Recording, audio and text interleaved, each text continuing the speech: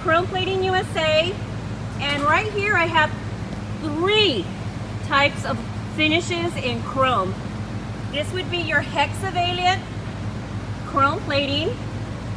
This right here is your trivalent chrome plating. And right here we have a PVD chrome. Some people call it vapor chrome.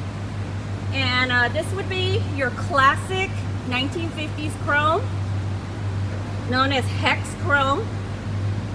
Right here is interesting because we have PVD and in the backside, you're gonna notice, and I don't know how good the footage will be here, a little bit of an orange peel effect.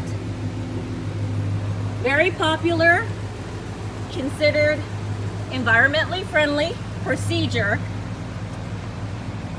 And then right here we have the trivalent, they're environmentally friendly chrome. As you can tell, it's a little darker.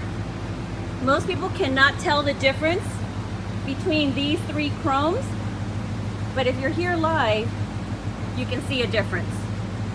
Hex chrome, trivalent chrome, PVD.